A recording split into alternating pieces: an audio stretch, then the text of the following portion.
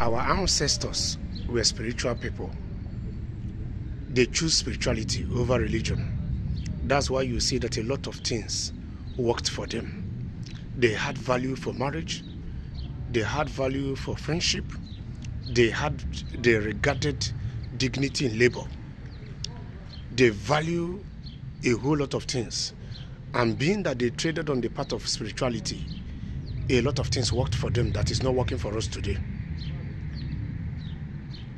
The rate of crime then was very, very at the lowest minimum compared to today.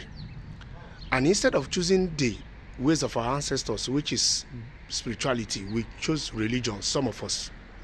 And that's why a whole lot of things is going out of hand. We don't have value for marriage anymore.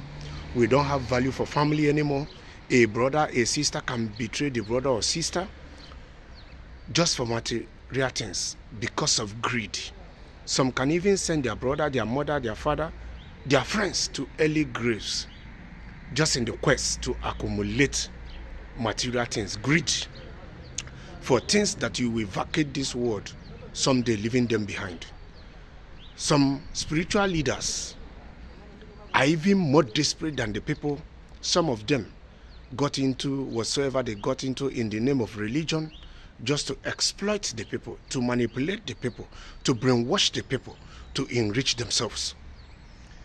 The day we Africans we go back to the drawing board and decide to make away with man-made religion and trade on the path of spirituality that our ancestors did, a whole lot of things will start working for us that are not working now. That is the truth. The earlier we start to emancipate ourselves from this man-made religion, that our colonizers are using to colonize us and our own people are using it to colonize us.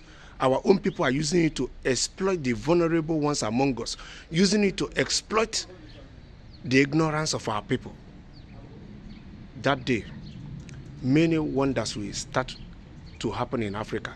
A whole lot of good things will start happening in Africa. Yes, that is the truth. Because some of the so-called spiritual leaders they are in fact i can't put use one word to qualify them. They don't care what you do to make the money. What they care is about the offering and the big tight envelopes. Yes that's why you see that a whole lot of things is going wrong. The day we decide to choose the path of our ancestors by being choosing spirituality over religion the better for all of us the better for africa the better for our countries